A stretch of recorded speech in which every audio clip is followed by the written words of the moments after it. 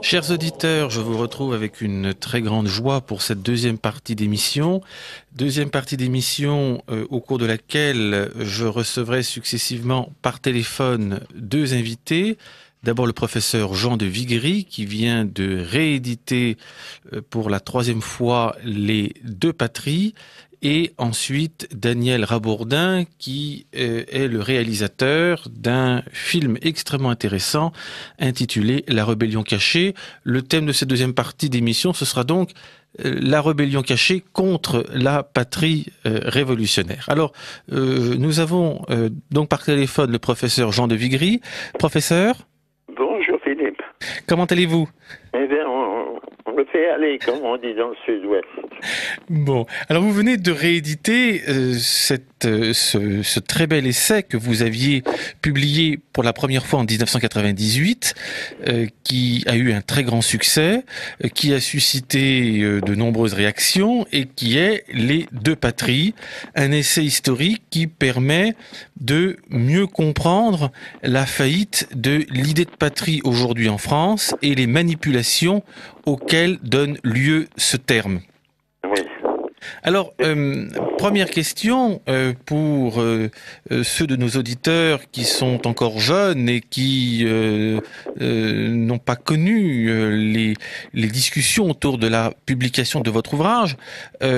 comment peut-on, comment définissait-on d'abord la patrie euh, au Moyen Âge. Vous parlez des deux patries, la patrie traditionnelle, la patrie révolutionnaire. Qu'est-ce que la patrie traditionnelle La eh patrie, la patrie traditionnelle, c'est d'abord la patrie de la Sainte Église romaine, patria, euh, que célèbre la, le chant grégorien, par exemple. Euh, il n'est pas question de la patrie terrestre. Par exemple, dans les hymnes et dans le bréviaire, dans les psaumes, le mot patrie revient souvent, c'est le ciel. Dans le Haut Salutaris Ostia, il est question de la Trinité, la Sainte Trinité, nous donne la patrie, c'est-à-dire la vie sans fin. Sine termino, donet in patria. Vitam donet, vitam aeternam donet in patria.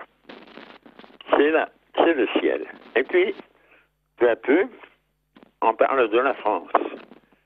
Au XIe, XIIe siècle, les Français ne parlent pas de la patrie, ils parlent de la France. Les premières œuvres en langue vernaculaire, en français, euh, célèbrent la patrie. Je pense à la chanson de Roland où il est question de France la douce, France la bien-aimée. Cette France du, haut du Moyen Âge, qui est déjà le Moyen Âge passé, est une France qui a des vertus, qui est vertueuse. Et ses principales vertus sont la chevalerie, l'honneur. Son honneur est très important. Ne plaise à Dieu que la France perde son honneur. À cause de moi, dit Roland à Roncevaux. Le roi est également très important dans la patrie. Il incarne la patrie. Et le roi est juste. Et la justice du roi doit être aussi la justice de son royaume et la justice de tous ses fidèles. La France peut pécher, elle peut commettre des fautes, mais Dieu lui pardonnera. Ne te veuille point désespérer, dit un poète car Dieu est plein de merci. Enfin, nous avons le message d'espérance de Jeanne d'Arc. Jeanne d'Arc ne parle pas de la patrie, elle parle de la France, elle parle du royaume, et elle dit au dauphin, à Charles VII, qu'elle appelle dauphin jusqu'à son sacre, gentil dauphin, je vous dis que Dieu a pitié de vous. Telle est la patrie médiévale. C'est saint Thomas d'Aquin qui va faire entrer la patrie, qui va intégrer la patrie dans la patrie terrestre, dans la philosophie politique, que l'on peut dire française, puisque saint Thomas a beaucoup enseigné, vous savez, le plus longtemps, à, à Paris. Cette patrie française, cette patrie française, c'est la patrie de saint Thomas d'Aquin. Elle est intégrée par lui avec ses devoirs et avec les devoirs des Français envers la patrie. Le devoir envers la patrie, selon saint Thomas, passe après celui dû à la famille. La famille d'abord, la patrie ensuite. Mhm. doit, on doit se sacrifier pour elle. La mort patriée, l'amour de la patrie, dit Vincent de Beauvais, le disciple et contemporain de saint Thomas d'Aquin, parle d'un amour de la patrie qui demande des sacrifices. On ne parle pas de la mort, du sacrifice de la vie, mais on parle du sacrifice. Voilà, nous arrivons maintenant à la fin du Moyen Âge. Est-ce que vous voulez me poser une question pour la suite? Oui, bien sûr. Euh, alors, cette conception de la patrie, elle euh, subit euh, quelques, inflexions au XVIe, XVIIe siècle avec le développement de l'État, et elle se voit opposer une autre conception au XVIIIe siècle, une conception qui triomphe avec la Révolution française. Alors, comment euh, les auteurs des Lumières et les acteurs de la Révolution définissaient-ils quant à eux la patrie? Oui, la patrie a déjà un accent guerrier euh, emprunté aux Romains dès le XVIe siècle. Euh, Ronsard vers qui, qui évoque nos monuments aux morts, qui fait penser à nos monuments aux morts Ronsard dit Heureux celui qui meurt pour garder sa patrie. Donc, avec la Renaissance, la patrie prend déjà un accent euh, de vertu et de sacrifice de la vie. Un accent nouveau. Elle passe en premier. Mais comment a-t-elle changé de sens? C'est la question que vous me posez. Mhm. Et c'est la question que je me suis posée en relisant mon, propre livre. Il fallait le relire. Et vous m'avez obligé, si je puis dire, à le faire. Et, j'ai été effrayé. Effrayé en relisant les pages écrites que j'avais écrites entre 95 et 1995 et 98 et en particulier le chapitre 2. C'est le chapitre le plus important de mon livre. Et je crois que les controverses qui ont, eu lieu euh, à l'époque de la parution du livre venaient de ce que les lecteurs n'avaient pas lu ce chapitre-là. Ce chapitre 2 s'intitule Une nouvelle patrie c'est le XVIIIe siècle, fin XVIIe, XVIIIe siècle. C'est le début de la crise de conscience européenne et sa suite qui est les Lumières. Une nouvelle patrie naît alors. Et quelle est cette patrie? C'est une patrie matérialisée. Je m'en suis rendu compte en lisant, en relisant ce chapitre. La patrie est devenue objet à cette époque. Elle est devenue matière. Ce n'est plus la France des vertus. Ce n'est pas un être moral. C'est un être matériel. Et c'est un bien-être. Pour Voltaire, on est dans sa patrie quand on est bien, quand on vit confortablement. Et deux grands esprits ont également contribué à changer le sens de la patrie on ne le sait pas généralement, deux grands esprits. C'est Daguesseau, on ne s'y attendrait pas, et Montesquieu.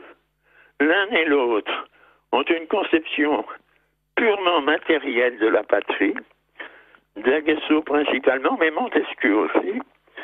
Il faut que la patrie, dans la patrie, tout le monde soit bien, que le bien-être soit pour tous. Il faut donc l'égalité. L'égalité est bonne et devient la patrie. La patrie se confond avec l'égalité. Et elle se confond aussi avec la République. La République est nécessaire, c'est Montesquieu qui le dit, parce que tout le monde a le bien-être. Voilà le chapitre capital de mon livre. Et c'est le chapitre 2 Alors on a le... les choses arrivent plus rapidement qu'on ne pense. Alors Il faut le relire, et je l'ai relu. On a le sentiment également qu'avec les théories du contrat social, la patrie euh, prend également cette, cette forme. Elle est le contrat social. Diderot prennent le même accent, reprennent ces théories, et il n'y a rien de nouveau finalement avec la philosophie des Lumières, rien de nouveau après ce que je viens de dire, après ce que les, cette matérialisation de la patrie par ces grands esprits que sont D'Aguesseau et Montesquieu. Rien non plus d'essentiel avec la Révolution française. Le mal est déjà fait, la transformation est déjà faite. Avec la Révolution française, ce que nous avons de nouveau, c'est la patrie en danger. Pourquoi en danger? Parce que c'est un bien matériel que tout le monde possède.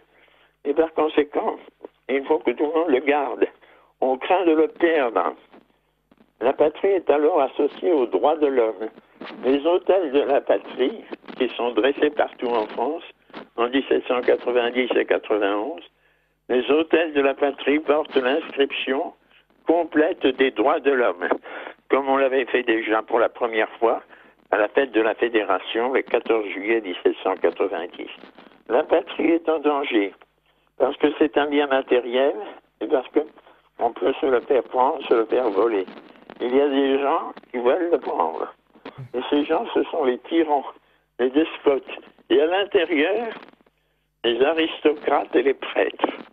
On va donc les tuer. On va donc les faire disparaître.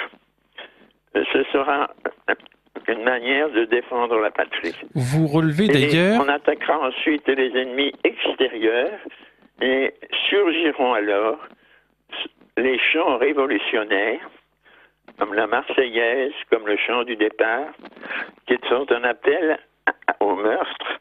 Ceux qui entrent sur le sol français sont des meurtriers, sont des, sont des assassins, et nous devons les tuer, les faire disparaître. D'où le ton insupportable de ces chants qui sont devenus nos chants nationaux, comme la Marseillaise. Vous relevez la patrie révolutionnaire, on peut dire que cette patrie révolutionnaire se retrouve exactement telle avec la guerre de 14. Alors, vous, vous relevez à cet égard que c'est au moment précis où l'Assemblée législative, en juillet 92, déclare la patrie en danger parce que la situation militaire à la frontière est mauvaise. C'est à ce moment précis que commencent les premiers massacres de prêtres, les premiers assassinats de prêtres dans le midi de la France. Oui, la guerre, la guerre est déclarée par l'Assemblée. Ce ne sont pas les étrangers qui déclenchent la guerre, c'est la France. Pour convertir l'Europe. La guerre parce qu'elle a peur. Elle a peur, elle ne veut pas que les tyrans, les despotes, les aristocrates, les prêtres menacent ses biens, son bien-être. Et c'est alors la guerre qui va évidemment être suivie par les guerres de l'Empire, et dont la guerre de 14-18 est la reproduction exacte. Mhm. Alors avant d'en arriver... On a la puissance de feu. Avant d'en arriver à la guerre de 14, cette patrie révolutionnaire, elle apparaît aussi comme la communauté de cet être nouveau que vous avez décrit dans un ouvrage très récent, le citoyen. C'est la communauté des citoyens. Le citoyen, c'est celui qui est appelé à défendre les droits de l'homme tout citoyen doit être armé. C'est sa caractéristique. Le citoyen naît bien au monde le 14 juillet 1789. Ce jour-là, la population parisienne, dans sa grande majorité, il faut le dire, a pris les armes pour défendre la Déclaration des droits de l'homme que le roi n'a pas encore sanctionné. Il fera attendre sa sanction jusqu'au mois d'octobre. Le citoyen, c'est celui qui va combattre pour les droits de l'homme et qui va combattre jusqu'à la mort. Il va tuer et il sera tué. Il accepte d'être tué. C'est un grand honneur. Mourir pour la patrie, c'est-à-dire pour les droits de l'homme, c'est l'idéal. La République nous appelle, il faut la défendre. Il faut un Français doit mourir pour elle. Pour elle, un Français doit mourir. C'est ça le citoyen, ce n'est rien d'autre. Et c'est pourquoi il va accepter avec philosophie, si je puis dire, les conscriptions des guerres impériales, les guerres de Napoléon III, qui sont également pourvues en soldats par la conscription, et enfin et surtout le service militaire très long imposé par la guerre de 14-18. Alors, parce que au, cœur de cette euh, de la définition de cette patrie révolutionnaire, de ce statut du citoyen, il y a l'idée du sacrifice que celui-ci doit faire à la patrie. Euh, c'est à cela qu'on, que, Robespierre mesure la vertu euh, du citoyen. c'est ça qui a fait se, réunir les Français. C'est la fameuse union sacrée.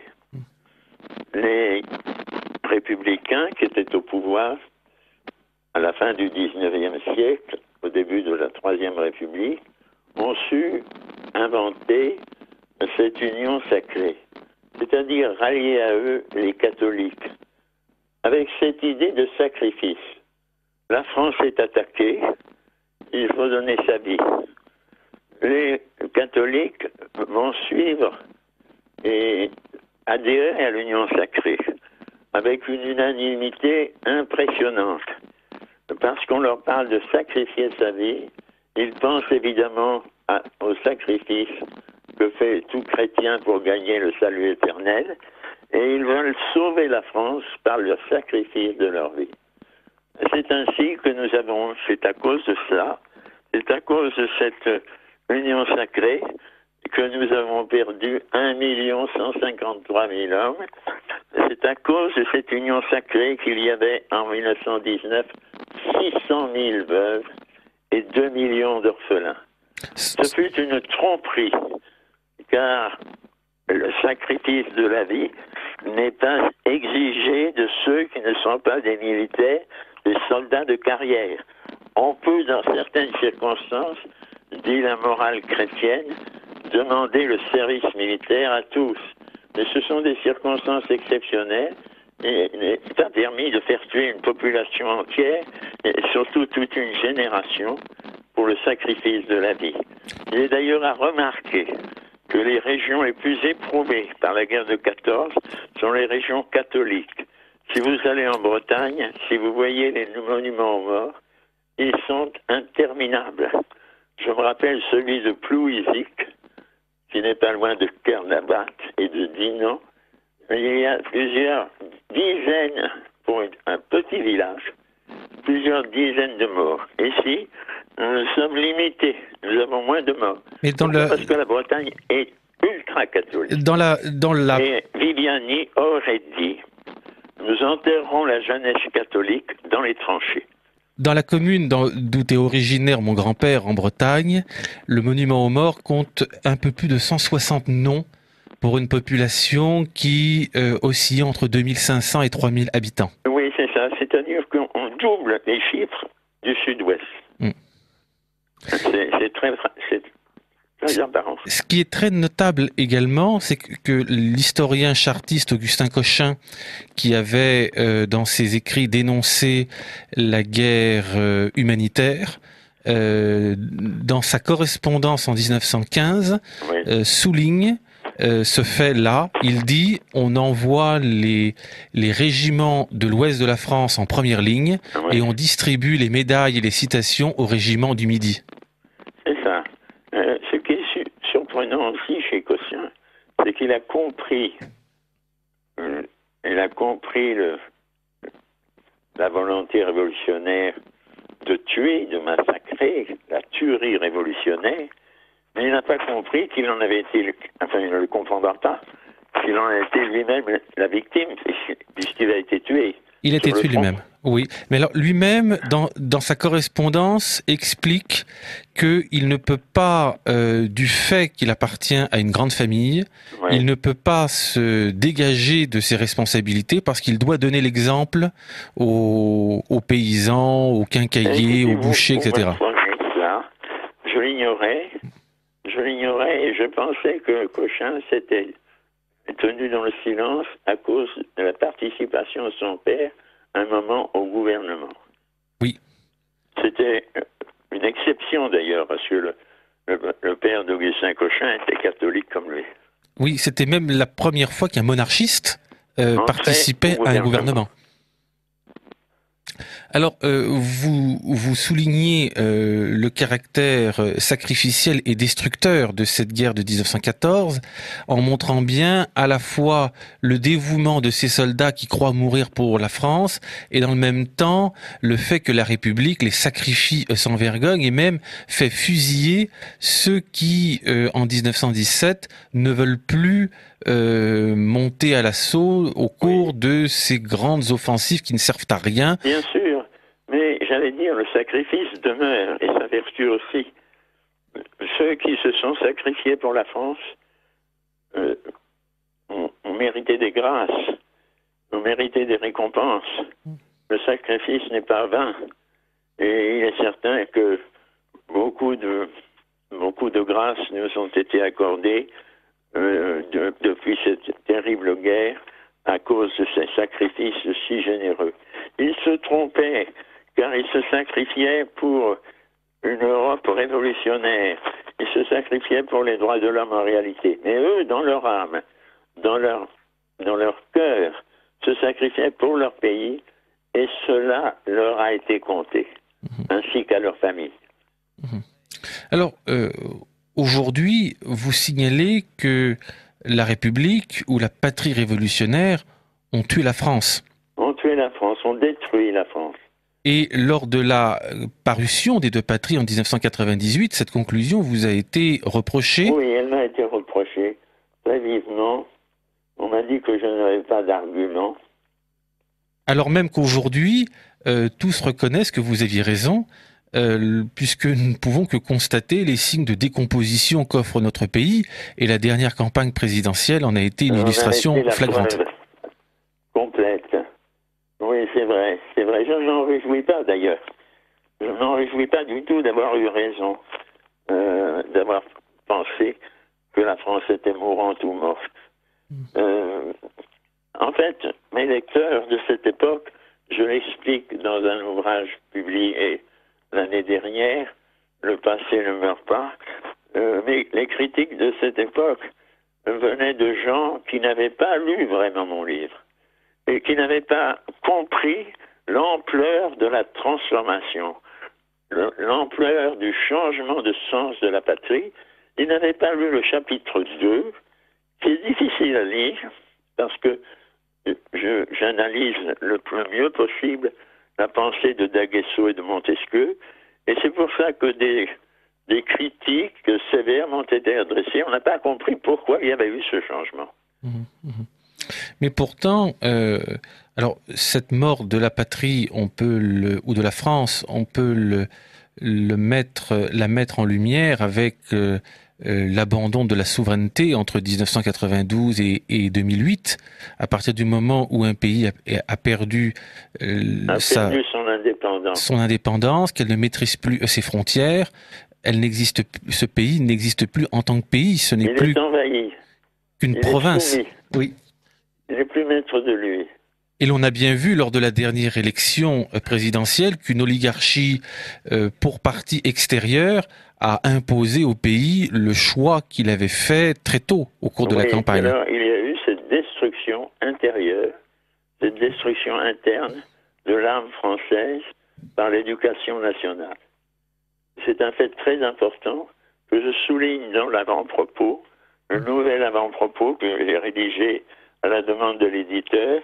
Je dis que l'éducation nationale a été et est aujourd'hui le principal élément de la facteur de la destruction parce qu'elle crée l'ignorance, parce qu'elle crée l'oubli, parce qu'elle suscite la perversion des mœurs. Donc la France n'est plus indépendante. La France n'a plus d'existence politique véritable. Et en plus, elle est détruite de l'intérieur. Les Français, les petits Français, étant absolument pervertis, changés et réduits à l'ignorance la plus complète. Et pourtant, vous ne renoncez pas à, toute espérance, puisque euh, vous insistez notamment là-dessus dans l'avant-propos de la deuxième édition.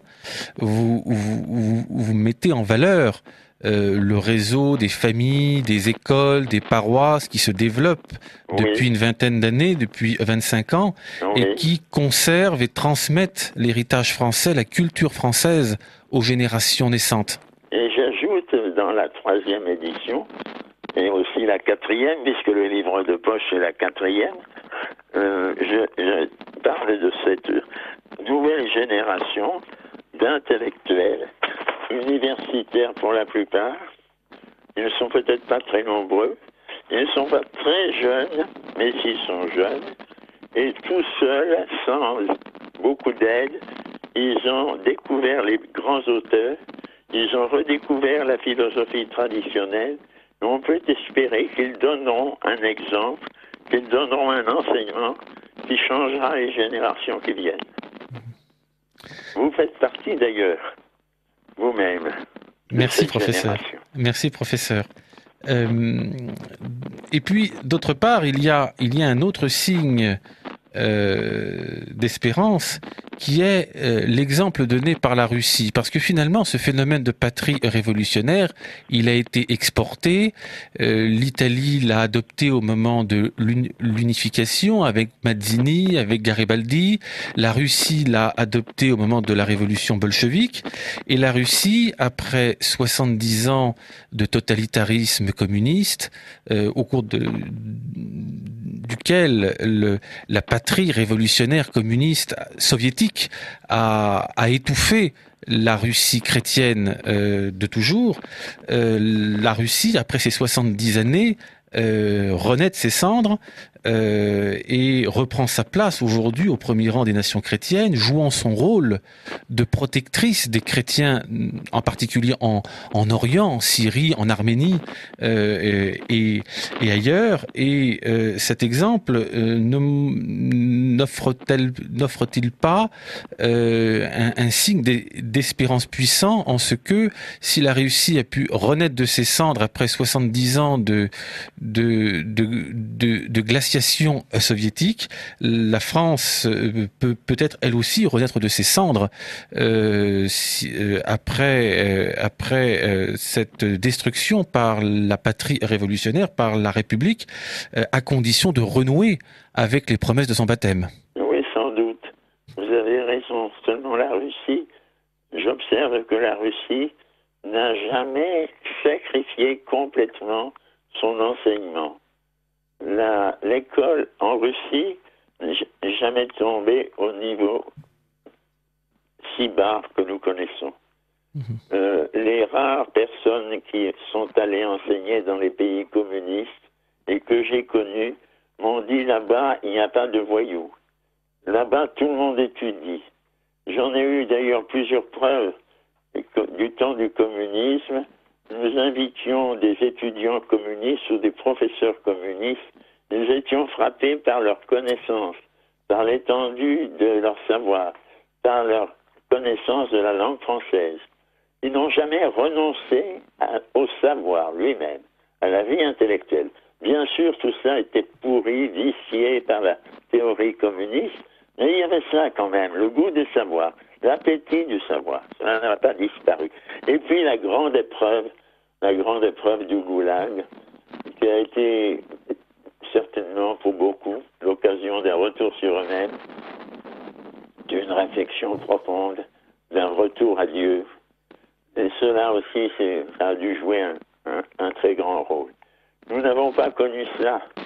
Nous avons été épargnés d'une certaine manière, et peut-être grâce au sacrifice des Français morts pendant la guerre de 14, mais maintenant, nous n'avons plus de grandes personnalités, forgées par l'épreuve, forgées par le malheur, forgées par la persécution intense. Mais peut-être les aurons-nous, mais pour l'instant, nous ne les avons pas. Nous manquons de personnalité. Cela s'est vu pendant la campagne présidentielle, cela s'est vu par l'opposition qui a été faite au parti de gauche, aux républicains, aux socialistes. L'opposition qui a été hardie, qui a été courageuse, mais, mais extrêmement insuffisante. Faute de formation, faute de vie intérieure. Voilà mon opinion sur la situation politique présente. Ce qui marque bien le caractère absolument stratégique du, du combat de l'école, de l'école vraiment libre, Certainement. Et, et du combat spirituel.